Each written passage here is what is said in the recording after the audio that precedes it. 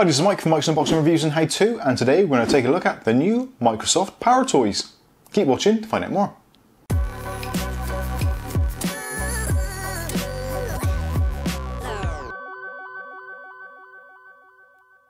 Okay, so to some of you, Power Toys is going to mean absolutely nothing, but to those of us who are a little bit older and can remember Windows 95 and Windows XP for that matter, most of you probably at some point have installed the Microsoft Power Toys app, which was basically an add-on to Windows, which added some of the features which basically that they pretty much forgot to put in the first time round. And also, some of the items were user-created applets, which actually helped you do things easier within Windows in the interface, things like CD burning, tweak UI for the user interface, and lots of other things like that. So now Microsoft have decided to update their Power Toys for Windows 10 users. So let's go to the computer and we'll take a look at it and I'll show you how to install it and what features are currently baked in.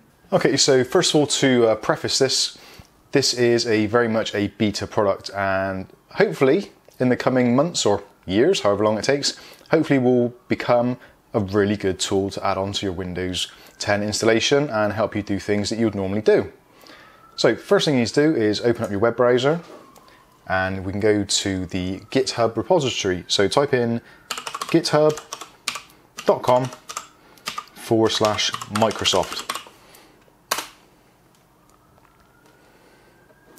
And this is Microsoft's home for open source creations and all their little tricks and tools, which for programmers and all that kind of thing.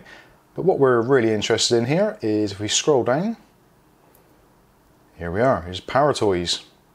So click on Power Toys, it'll give you an, a uh, listings of all the different codes, etc., all the updates. And if we scroll down further, it'll give you an overview. So here's the overview. So Power Toys is a set of utilities for power users to tune and streamline their Windows experience for greater productivity. Well, we hope. Inspired by the Windows 95 era of Power Toys project, this reboot provides power users with a way to squeeze more efficiency out of the Windows 10 shell and customize it for individual workflows. A great overview of the Windows 95 Power Toys can be found here. So if you click on that link, you can go to the Wikipedia hub and check out the installation. Well, check out what was in Windows 95, which actually was a quite a big Power Toys set of tools. So let's go straight in. So the first preview of these utilities can be installed from here. So if we click on there, and here we can see this is a release version 0.11.0, so it's uh, pretty much an alpha or pre-release. So click on there, and here is the assets to install it. So you can choose either the zip file or the MSI setup file. We'll go with the SML, MSI setup file, and we'll download that to the desktop. So now we've got our Power Toys installer. So double click on that. And as you say, welcome to the Power Toys setup wizard. Hit next. Uh, agree to the license because, well, well, you've got no choice. And it gives you options of where you want to install it for. So you've got the option to create a shortcut, create a shortcut on the desktop, and automatically start Power Toys at logon. Now I'm going to add a shortcut as well just to make life easier. And hit next. And install.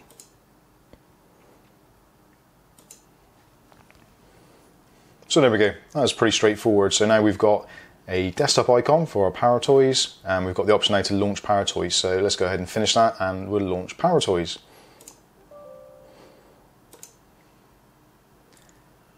So nothing happened there, but what we've got now is our icon down in the taskbar. So we right click on it, we've got options for settings, about, or we can shut it down altogether. And you can probably open it by double clicking, yep you can. So here, here's our Power Toy settings. So here's your general settings. So at the moment, the only two av available Power Toys are the Fancy Zones and the Shortcut Guide. But hopefully, obviously, this will be added to and have a lot more features in the future. So let's take a look at the first one. So this is the new Fancy Zones.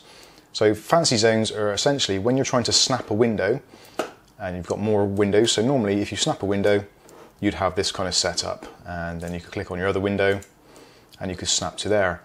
You could also, with these, you can snap them various other places. You can use the Windows keys, etc. But this is going to give us a little bit more flexibility. So in the Fancy Zone settings, so we've got options for uh, actually launching the zone editor. Now on there it does say you can press the Win and the tilde key anytime. Um, for UK users this isn't going to work. Currently there is no localization so if you've got a non-American keyboard setup uh, basically you're going to have to go into edit zones manually from the Power Toys settings. Now some of the features here are already set up so I'd probably leave them as they are just to keep it where they are. But the more important one here is hold shift key to enable zones when dragging. So we'll see more about that shortly. So if we click on edit zones, we go to this window. So here is the layouts, the optional layouts. Now we can select edit selected layouts. So if you want a bit more customization, you can do. If we scroll through, so I'm going to go with this one here, the priority grid. So now we're going to have our snap to zones, which are going to be four small ones in the quarters and then a large one in the central pane. So if we click apply, and now we can close that down. So if we open up uh, File Explorer, for instance, so if we now press the left mouse button down to hold it as if you're dragging it around, but press the shift key, and then we get our zones. So now we can choose where we want to dump it. So put that there.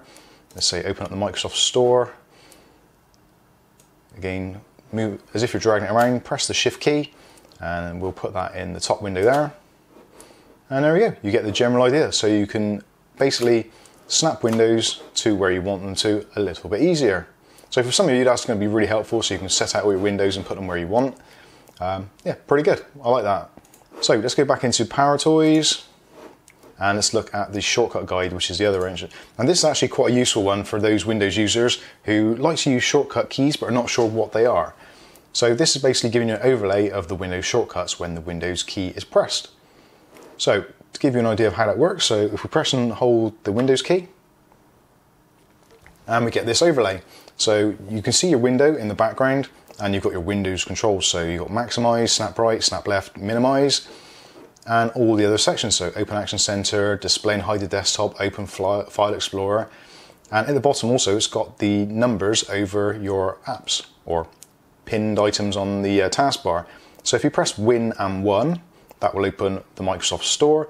If you press the Windows key and 2, it will open up Mail, Windows key and 3, and File Explorer. You get the general idea. But essentially, this is really good for most users as if you're about to do something, you think, oh, what was the key press? Press and hold the Windows key, and shortly after, this overlay will come up to remind you what you want to do. So, not a great deal for us to play with at the moment in Power Toys, which is unfortunate, but hopefully, like I said, they will be adding extra features to it. And also, if you're not sure if there's going to be an update or not, you can always click on check for updates and see what is available. It'll take you straight to the uh, GitHub releases, so you can check your version number against the release version and see if there's anything new to install. So there we go, there are the new Microsoft Power Toys assets that are inside the Power Toys app. Unfortunately, like I said, there's only two at the moment, but the Windows key one for showing your uh, combination keys, I think it's going to be actually really useful. And for snapping apps, if you're maybe a trader, a writer, an editor, having those features there is pretty good. And like I said, hopefully they're going to be adding a lot more features in the coming months.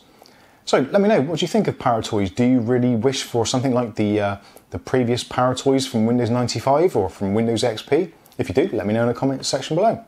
But in the meantime, I've been Mike, this is Mike's Unboxing Reviews and How To, and hopefully we'll be catching you in the very next video. Thanks for watching.